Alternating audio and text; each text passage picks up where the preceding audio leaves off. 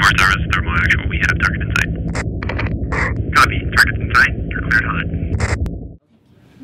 Captain Niloofar Rahmani visited Marine Corps Air Station Miramar to speak to female pilots March 9th.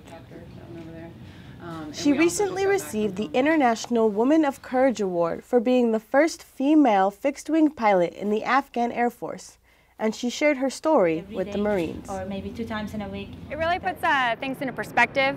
Um, there's challenges being a female Marine, there's challenges being a female in the military, but the things that she's been through just amplify what her situation is.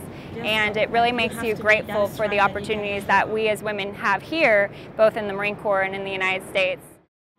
She also received a tour of a KC-130, which she hopes to fly one day. Rahmani plans to continue to fly and hopes to inspire more females to achieve Everything their goals. you really need to fly is up on the HUD. So it's. Go for what they want and show this for everyone. That they have a belief on themselves and if they just have a self-confidence, they will do whatever they want. including the crew. Reporting from Marine Corps Air Station Miramar, I'm Sergeant Raquel Barraza.